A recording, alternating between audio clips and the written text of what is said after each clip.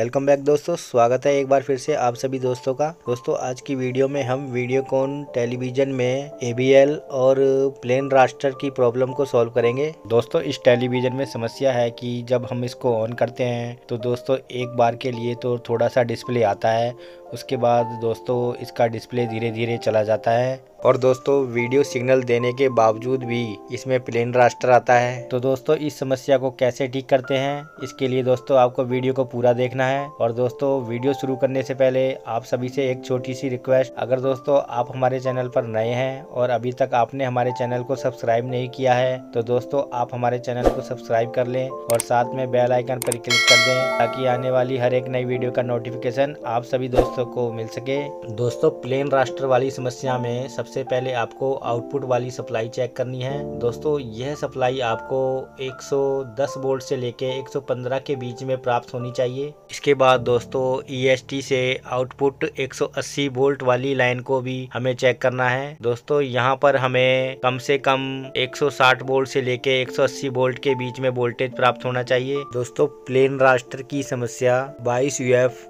250 volt के filter के खराब होने के कारण भी हमारे टेलीविज़न में प्लेन रास्टर की समस्या आ सकती है। दोस्तों, ज़रूरी नहीं है कि 180 वोल्ट वाली लाइन में फ़िल्टर ही खराब हो, कुछ और भी खराब हो सकता है। तो दोस्तों, आप इस लाइन में मौजूद सभी कंपोनेंट जो 180 वोल्ट की सप्लाई वाली लाइन में लगे हुए हैं, उनको बारी बारी चेक कर लें। दोस्तों, इस समस्या में हमारा सीआरटी बेस भी खराब हो सकता है। दोस्तों सीआरटी बेस में फंगस या मॉइस्चर आने के कारण हमारे टेलीविज़न में ये समस्या आ सकती है। दोस्तों, पिक्चर ट्यूब पर लगी आरजीबी प्लेट को भी आप चेक कर लें। दोस्तों, कई बार ड्राई होने के कारण भी हमें इस समस्या का सामना करना पड़ सकता है। तो दोस्तों, आप देख सकते हैं कि जो हमारी आरजीबी प्लेट है, वो काफ़ी ड्राई है। तो दोस्तों, एक बार हम इसको रिसोल्ड कर लेते हैं। दोस्तों आरजीबी प्लेट को रिसोल्ड करने के बाद भी दोस्तों, हमारे टेलीविज़न में प्रॉब्लम सेम है। दोस्तों, अब आपको आरजीबी प्लेट पर कुछ वोल्टेज चेक करने हैं। जो वोल्टेज दोस्तों, आपको इस वीडियो में दिखाए गए हैं।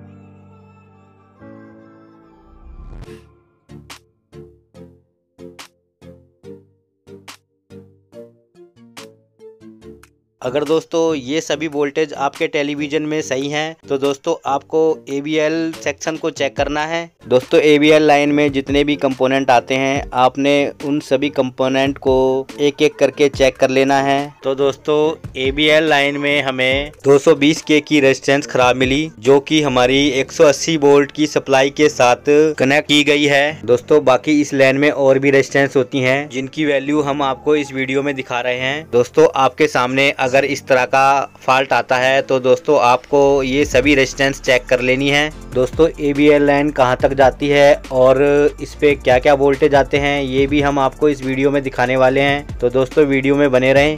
दोस्तों, ये दो आप जीनर देख रहे हैं। दोस्तों, इन जीनर के बाद हमारा एल पॉइंट हमारी मेन आईसी को जाता है, कि एक चिप वाला आईसी है। दोस्तों, वीडियो में दिखाए गए वोल्टेज भी आपको चेक कर लेने हैं। दोस्तों, ये सब चेक करने के बाद भी आपके टेलीविज़न में प्लेन रास्टर की प्रॉब्लम है, या एल की समस्या आ रही है तो दोस्तों, आपका चिप वाला आईसी खराब है। फ़िलहाल दोस्तों, हमारा टेलीविज़न ओके हो गया है, और दोस्तों, यह ओके 220 के की रेजिस्टेंस बदलने के बाद हुआ है। तो दोस्तों, आज की वीडियो में इतना ही। मिलते हैं किसी नेक्स्ट वीडियो में। तब तक के लिए जय हिंद बंदे मातरम, भारत माता की जय।